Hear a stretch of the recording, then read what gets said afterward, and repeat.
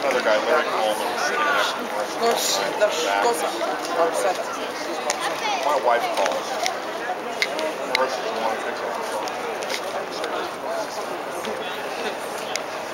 My wife hears stories about everybody at work.